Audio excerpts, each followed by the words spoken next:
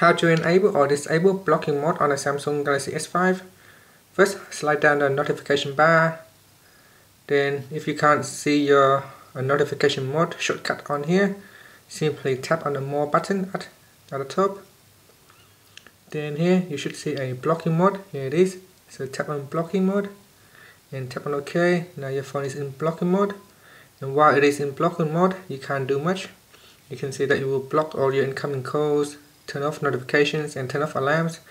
So you'll still be able to use um, the internet but you won't be able to receive calls or SMS and simply uh, to disable slide the switch to the right or to the left. Now another way to get into here is go into settings and scroll down near the bottom. And under the personalization section tap on blocking mode.